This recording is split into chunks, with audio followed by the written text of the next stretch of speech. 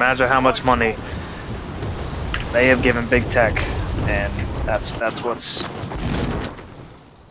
Fortunately, that's what's doing it.